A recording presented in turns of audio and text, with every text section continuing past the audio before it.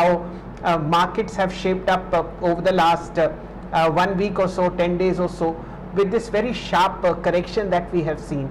How do you see equities at this point of time? We've had this Goldilocks scenario till September 30th when the Nifty alone was up somewhere like 22%.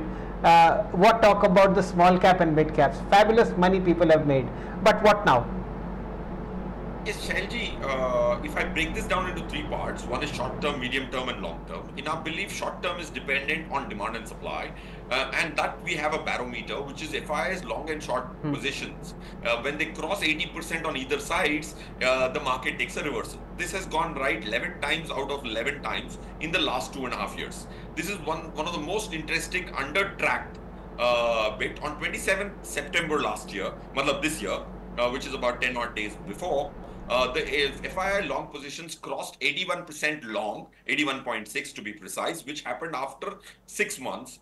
And uh, Nifty was at 26,200. We have believed we've we are still testing the data, but I'm trying to create curiosity amongst your viewers to track this underutilized data, moving averages, ADX. All these are very popular short-term triggers, but their probabilities of predictive capability in is best at best 57, 58, and that is also statistically checked.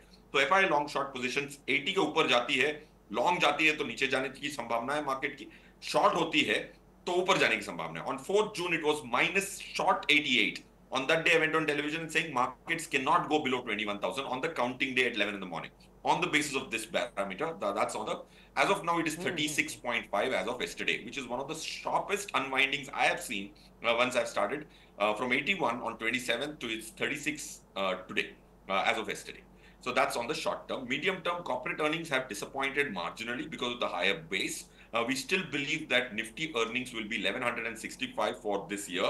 If that 1165 were to happen, markets risk on the medium term vaporizes uh, because 1049 was the earnings last year, 1165 is our estimate. And if this were to be a tick mark, markets can't have steep corrections. Third, uh, which is macros, out of seven variables which we track, uh, for the last few years. Six of them are deep green. Uh, one macro variable is a little red. So six on seven on the long term um is, I think, uh, medium and long term look good. And uh, short term also from these levels look good, looking at the long and short data of 36% on long side.